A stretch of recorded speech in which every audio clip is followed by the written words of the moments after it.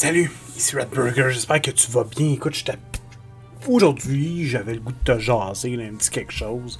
Euh, ça fait longtemps que je pensais à une vidéo comme ça. Euh, en fait, je voulais te parler un peu de nostalgie, un peu de, de tout ça, là, de, dans le temps, quand on était jeune, puis quand on faisait des, parties de jeux de rôle dans le sous-sol, puis tout ça. Puis, euh, fait qu'aujourd'hui, dans le fond, je vais te montrer des aventures. Je vais te jaser d'aventures qui, euh, qui m'ont marqué. Moi, qui m'ont marqué euh, de mon temps. Allons-y avec. Euh, c'est pas mal en ordre chronologique, je te dirais. c'est pas mal en ordre chronologique. Ça, tu vas voir. Tu vas voir que ça va ressembler. Là. Voilà. Allons-y. Débutons. Oh. L'œil noir. L'auberge du sanglier noir. Et moi, je me souviens. Là, je l'ai jamais fait jouer, mais je me le suis. On me l'a joué. Et, j'avais une. Je me souviens, mon personnage était une guerrière. Je me souviens plus trop de son nom, puis tout et tout. Là. Mais je me souviens que le but de la partie, le but de l'aventure, c'était de revoir la lumière du jour. écoute, c'est pas capoté ça. De revoir la, lumière du jour. Fait que là, on était pris dans les catacombes et tout ça, de cette, de cette auberge-là. Puis, écoute, honnêtement, je, pense que je vais la relire, euh, juste question de me mettre un peu dans le bain. Euh, pas ça, euh, pas ça remettre peut-être faire de quoi avec l'auberge du sanglier noir, qui était pour l'œil noir, qui est un jeu euh, qui était fait par Gallimard. Mais en fait, non, c'est pas Gallimard, c'était un jeu allemand, euh, mais qui avait été popularisé chez Gallimard. Et pourquoi ça avait été populaire, l'œil noir, c'est que ça avait été vendu comme dans le même, dans les, dans les librairies, un peu, un peu dans la même section des livres dont vous êtes le héros. Pourtant, c'était pas un livre dont vous êtes le héros, c'était un livre carrément de, de, de jeu de rôle. Voilà. Donc, ça casse la classe. Maintenant, probablement une des aventures que j'ai le plus fait jouer de ma vie. Ah, maudit que je l'ai fait jouer. Le sinistre secret de Saltmarsh. Écoute, euh, un de mes chums, Delo, euh, je me souviens plus pourquoi, mais il l'avait, puis là, ça se ramassait dans mes mains. Puis, écoute, je l'ai encore là, ici, il est tout magané, c'est brisé. Je pense que je l'ai déjà montré dans une vidéo. Je l'ai tellement fait jouer, je, suis capable de dire exactement qu'est-ce qu'il y a dans quelle pièce. Et ça m'a tellement. Et, c'est tellement une aventure qui. Moi, je vois cette, la couverture de cette, de cette aventure-là, ça, ça, déjà, ça me rappelle euh, des excellents moments de jeu de rôle. On dirait, la, la maison, comment elle était et tout ça. Euh, écoute, je, l'ai fait jouer d'un bord puis de l'autre. Je l'ai même fait jouer en tant que professionnel. J'avais, on, me payait puis que j'avais fait jouer cette cette aventure-là. C'est une, aventure qui est super facile pour l'introduction de joueurs et tout ça. C'était vraiment. Moi, c'est vraiment une des aventures qui représente comme mon mes premières aventures de jeunesse. Puis, quelle ne fut pas ma surprise, euh, quelle ne fut pas ma surprise de voir que, papa, ils l'ont ressorti. En fait, il y avait le U1, U2, U3. Euh, écoute, pour faire une histoire courte, là, puis je veux pas spoiler, là, mais ce qui se passe, c'est que dans le fond, dans le premier, ben, tu t'en vas voir une maison hantée et tout ça. Pour te rendre compte qu'il y a un secret là, en arrière de ça, que ce n'est pas. C'est pas blanc ou noir tant que ça. Euh, puis tu te rends compte, ben effectivement, est-ce vraiment une maison hantée et tout ça? Puis là, ça, finit un peu comme une aventure maritime, euh, des bateaux et alouettes et tout ça. Fait que donc, euh, ben c'est ça. Fait que c'est la cinquième édition, c'est la version cinquième édition des U1, U2, U3. ouais, c'était... Bah, tu que je laisse mes tablettes, là. Je vais sûrement le faire jouer un jour, mais écoute, sérieusement, moi, il vient me parler. Ensuite. C'est probablement une des aventures les plus emblématiques de Donjons et Dragons. Écoute, le temple élémental du mal. On dirait que moi, je vois le temple élémental du mal. ça me sonne, ça me ramène dans la bouche le goût de la, de la première édition de Donjons tu descends là-dedans. Là, ça commence. Puis ça commence au début, au moins, tu es dans une ville. Tu, tu, te promènes dans la ville, tu fais tes affaires dans la ville et tout ça. Puis la ville de Omelette, là, je dirais pas trop d'affaires parce que je veux pas spoiler. Parce que je l'ai encore. Lui, ici, je l'ai. Je l'ai ici, puis c'est quelque chose que j'aimerais ça. Euh, j'aimerais ça peut-être mettre en place un moment donné, la faire jouer. Euh, écoute, c'est assez épique, là. Pour vrai, c'est assez épique. Et, c'est très sombre un peu comme, comme aventure et tout ça. Comme je les aime. Comme je les aime. Fait que ouais, mais c'est quand même du gros. c'est quand même de la grosse aventure, tu sais. C'est pas. c'est pas de la c'est un gros donjon. C'est un, un, peu à la saveur euh, première édition et tout ça. Après ça. Oh, ça, ça. Il y en a qui disent que c'est ce qui a cassé Donjon et Dragon. Bon, je sais pas, je pensais pas qu'on pouvait pas casser Donjon et Dragon. Mais effectivement, il y, a une, raison pour ça. Les Dragonlance. Et moi, là. Oh, Dragonlance, là, c'est de loin. Il y a Ravenloft, là, qui a une place particulière dans mon cœur. Mais Dragonlance, euh, je dois dire que c'est le setting de Donjon Dragon que j'ai le plus d'attachement pour. Euh, pourquoi? Ben, parce que, écoute, j'y ai joué beaucoup, beaucoup, beaucoup. Mon grand frère a comme vraiment pris ça en main, puis nous a fait jouer des games mémorables. Écoute, c'était magique.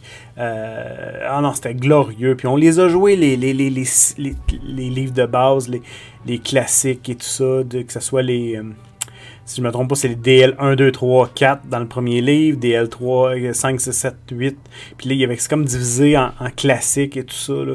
Ça, vraiment, moi, ça m'a vraiment, vraiment, j'ai apprécié beaucoup ces, les Dragonlance. C'est aussi ce qui, ce qui, euh, ce qui ressort comme étant pas mal, pas mal les premiers. Euh, les premiers livres ou aventures de Donjons Dragon où l'histoire est en continu, où il n'y a pas. Euh, où l'histoire est importante. Et c'est aussi là qu'il y avait. On, était dans le multimédia. Pas multimédia, mais plus, mettons, euh, polymédia. je ne sais pas trop le terme. Mais tu sais, on avait les romans, on avait ça, et là, tu jouais avec. Ça l'a. Dragonlance a vraiment changé la face de Donjons Dragon vers du. Euh, petit donjon rapide à une campagne qui l'histoire était peut-être plus grande que le jeu en soi. C'est peut-être là qu'il y a eu un tournant. je ne veux pas embarquer là-dedans, mais c'est effectivement là qu'il y a peut-être eu un petit tournant euh, pour Donjons et Dragons. Et poursuivons. Là, je t'amène ailleurs. Je t'amène ailleurs. Cyberpunk. Cyberpunk, euh, j'ai une relation d'amour-haine avec Cyberpunk. Euh, j'aime, j'aime le jeu, j'aime ce qu'il représente pour moi parce qu'il représente un des premiers jeux que j'ai joué dans les années 90. Euh, après le médiéval fantastique, après, Robotech, après euh, Marvel Super Hero. Mais j'ai jamais vraiment joué de campagne de Marvel. J'ai jamais joué vraiment de campagne de Robotech. C'était souvent des games one-shot d'un bord puis de l'autre. C'était pas. Euh, euh, ça avait pas la profondeur nécessairement des campagnes de donjons. Tu sais, donjons, l'œil noir.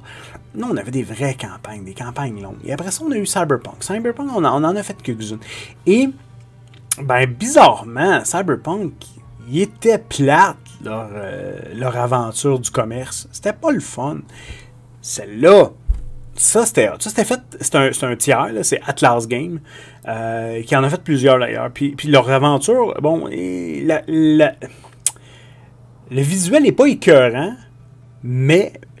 Non, le visuel est loin d'être écœurant, mais les aventures sont réellement le fun. ils ont réellement quelque chose là-dedans, mais le bon, le, packaging n'était pas, pas top top. Là. Fait que pour du Cyberpunk, moi, celle-là, c'était un que. C'est une que j'ai beaucoup aimé, euh, cette campagne-là. Maintenant.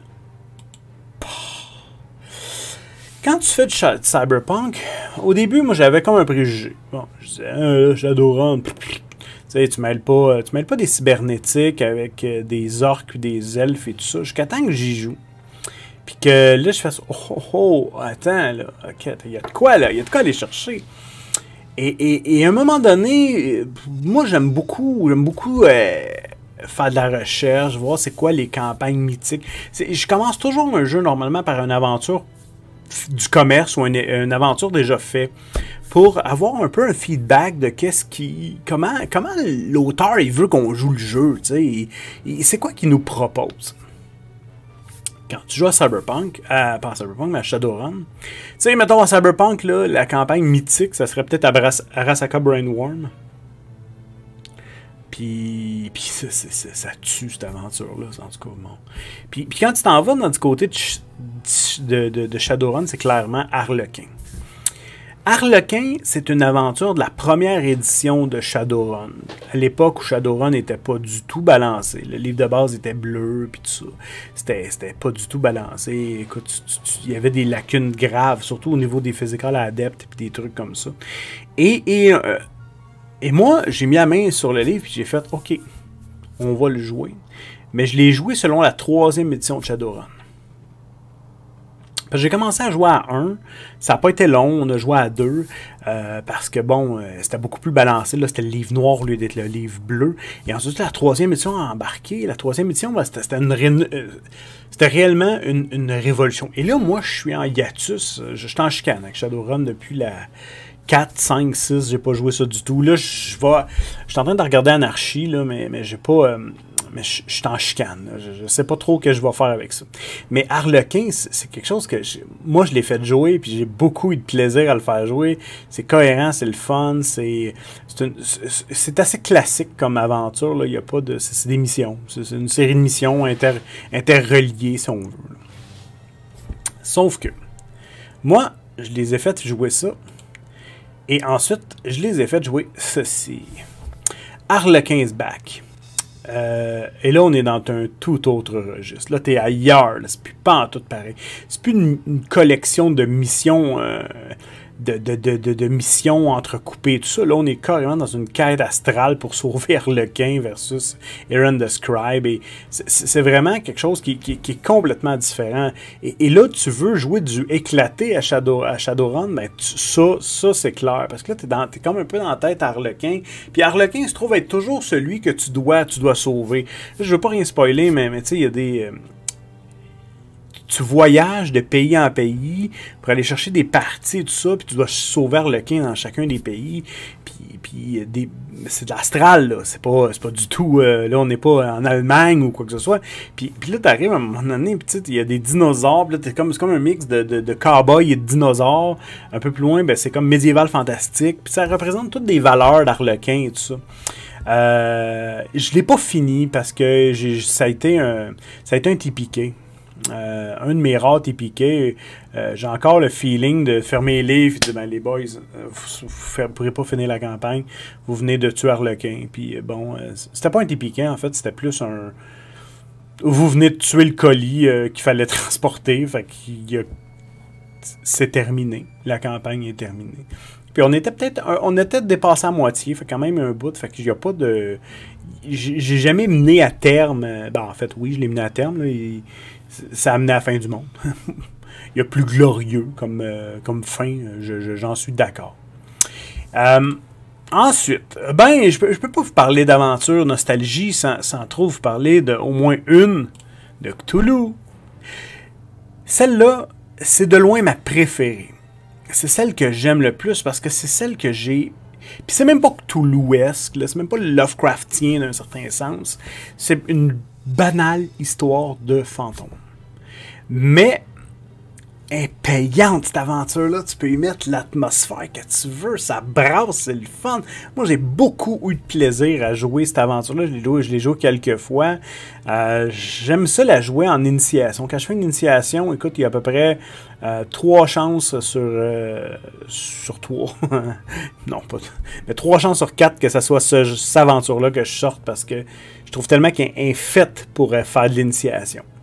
C'est une, maison hantée, c'est une banale histoire de fantôme. Euh, je, ne veux pas aller plus loin, je veux pas, je veux pas spoiler rien. Elle fun, l'ambiance c'est propice pour mettre l'ambiance. Tu mets l'ambiance, ça coule, ça va bien, ça punch. Tu es capable d'avoir des beaux. Euh, la belle angoisse chez les joueurs parce que quand tu es capable de, de, bien amener le build-up et tout ça, c'est réellement une aventure, le fun à jouer. Maintenant, je dois dire qu'il manque une chose. Il y a une aventure euh, que j'aimerais que j'aimerais à un moment donné une des aventures mythiques que j'ai jamais joué. J'ai joué les masses de Nyarlathotep, j'ai joué je, pense que j'ai touché pas mal à toutes les, les, grandes campagnes mythiques du jeu de rôle, là, euh, à part. Euh, mais, mais, mais celle-là, j'y ai jamais touché. Puis Puis ça me fait un peu de quoi. Puis je vais sûrement essayer de remédier à ça. C'est euh, la campagne impériale de, euh, de Warhammer Fantasy Roleplay. C'est jamais arrivé. J'ai jamais touché. J'ai jamais joué à ça. J'ai joué à euh, Warhammer, mais pas beaucoup. Puis, ça me manque un peu. Honnêtement, cette campagne-là impériale, c'est quelque chose que j'aimerais j'aimerais mettre. j'aimerais mettre. avoir mettre cette corde-là à mon arc. Voilà. Et, je, ça n'a jamais arrivé. Ça n'a jamais arrivé. Fait que là, écoute, ça fait comme 15 minutes que je jase ça. Je t'ai surtout parlé de nostalgie, je t'ai parlé de trucs que j'aimais, je t'ai parlé de vieilles affaires, de vieilles aventures. C'est tout ça, là. C'est comme des parties souvenirs que je te donne gratuitement euh, là-dessus. C'est vraiment des choses que j'ai beaucoup apprécié jouer ces campagnes-là. Fait que voilà. Écoute, j'espère que tu as apprécié. D'ici là, je vais. Euh, il va encore. Euh, il y a encore plein de, de, de, RPG Day qui vont sortir sur la chaîne de Pilule Rouge euh, qu'on fait à deux. Fait que donc, si tu veux t'en aller de ce côté-là, tu veux écouter Pilule Rouge, ben sûrement que tu es, déjà inscrit à sa chaîne. Il y a quand même pas mal d'abonnés. mais, mais dans tous les cas, moi et Christophe, on a beaucoup de plaisir à digresser euh, allègrement, euh, tout azimut sur, euh, sur plein de sujets. sur plein de sujets. Et, c'est un peu ça. Fait que bref, écoute, ben, je te remercie. Je te remercie pour ton écoute. Ça a été bien plaisant et je te souhaite ben, à, la, à la prochaine fois. Je vais te faire une vidéo bientôt parce que là, là on, on m'a piqué au vif. Là. Euh, dans la dernière vidéo de la planque à max, il y avait une. Bon, ça parlait de, transition V20, V5, le, nouveau. Le nouveau l'histoire et le fluff, le métaplot.